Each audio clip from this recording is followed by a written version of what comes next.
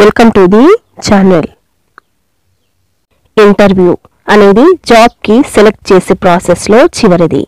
ఈ ఇంటర్వ్యూలో company information and needs candidate యొక్క ఎక్స్పీరియన్స్ స్కిల్స్ ఒకరికొకరు ఎక్స్చేంజ్ చేసుకుంటారు. మీరు సెలెక్ట్ అవుతే కంపెనీని ఎలా డెవలప్ చేస్తారు?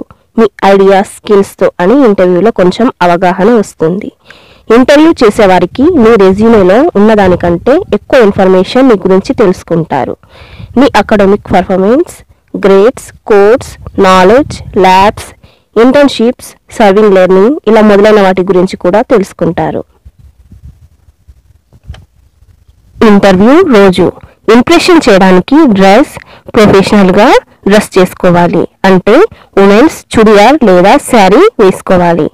టూ మచ్ మేకప్ జ్యువెలరీస్ లాంటివి అవాయిడ్ చేయాలి. ఎందుకంటే కాన్సన్ట్రేషన్ బ్యూటీ పైన లేదా మీ జ్యువెలరీస్ పైన ఉండకూడదు. ఇంటర్వ్యూ కదా అని న్యూ డ్రెస్ వేసుకోకూడదు. కొత్త బట్టలు వేసుకుంటే కొంచెం మనకు తెలియకుండా అడ్జస్ట్మెంట్స్ ఉంటే మనకు తెలియదు కాబట్టి ఆల్రెడీ టూ టైమ్స్ వేసుకున్న డ్రెస్ వేసుకోండి. ఫ్రీగా ఉండవచ్చు ఇబ్బంది లేకుండా. మెయిన్ అయితే ఫార్మల్ డ్రెస్ లేదా షూట్ వేసుకోండి. Hair style too much western ఉండకుండా కొంచెం నార్మల్ హెయిర్ స్టైల్ చూస్ చేసుకోండి. Second point extra resumes references transcripts certificates work samples company requirements బట్టి అన్ని ఇంటర్వ్యూ ప్లేస్కి తెచ్చుకోండి. ఎందుకంటే ఏదైనా మిస్ అవుతే ఎక్స్ట్రా అవి యూజ్ అవుతాయి. ఇంకా కొన్నిసార్లు ఎక్స్ట్రా రెజ్యూమేస్ అడుగుతారు ఇంటర్వ్యూస్లో థర్డ్ పాయింట్. ఎర్లీగా ఇంటర్వ్యూ ప్లేస్కి బయలుదేరండి. అట్లీస్ట్ అక్కడికి వెళ్ళిన తర్వాత టెన్ మినిట్స్ అయినా రిలాక్స్ అవ్వాలి కాబట్టి. Fourth point. ఇంటర్వ్యూలో గ్రేట్ యాటిట్యూడ్ మెయింటైన్ చేయండి. ఫిఫ్త్ పాయింట్ ఇంప్రెషన్ చేయడం. ఇంటర్వ్యూ రూమ్లోకి వెళ్తున్నప్పుడు డోర్ని లైట్గా ఓపెన్ చేసి ఎక్స్క్యూజ్ మీ సార్ లేదా మేడం అని అడిగి లోపలికి రావాలి. Good afternoon good morning good evening అని టైం బట్టి విష్ చేయండి. ఇంటర్వ్యూ చేసే వారితో ఫేస్ సీరియస్గా కాకుండా మరి ఎక్కువగా నవ్వకుండా చిన్నగా స్మైల్ ఫేస్ పెట్టండి. ఐ కాంటాక్ట్ కూడా కరెక్ట్గా ఉండాలి. కొంతమంది ఇంటర్వ్యూ చేసేవారిని చూడకుండా ఎటో చూస్తారు లేదా భయపడతారు సిగ్గుపడతారు.